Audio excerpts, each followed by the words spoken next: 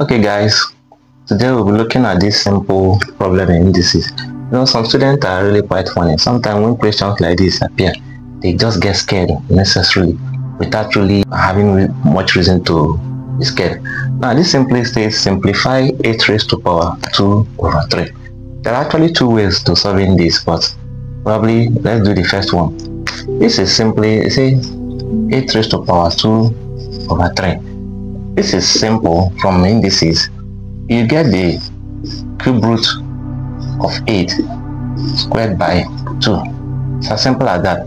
And the cube root of 8 is 2 raised to power 2, which is simply 4. As simple as that. Now there's another way. You can also say, okay, 8 raised to power 2 over 3. You get the lowest common factor of 8 which is uh, 2 so 2 raised to power 3 bracket 2 over 3 now this 3 will cancel this 3 you have 2 raised to power 2 which is still equals to 4 as simple as that.